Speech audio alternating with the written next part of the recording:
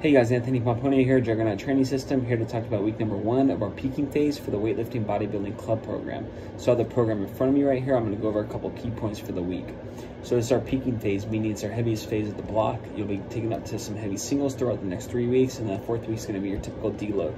So taking a look at the program right here, um, we are going to take the classic lifts, meaning the snatch, the clean, and the jerk up to a heavy single for the day, okay? So you aren't peaked for this quite yet, by the third week, you will be peaked. So just get numbers for the week. As far as the strength movements go, the bench and the squats, uh, bench we are taking up to a heavy three rep max. For the squats, uh, front squat we're taking up to a heavy two, and for the back squats we are taking up to a heavy set seven three. Okay, so heavy set just means get a number for the day that's heavier than you would normally go. So I would say aim for maybe 90 to 95 percent or somewhere around that range, okay?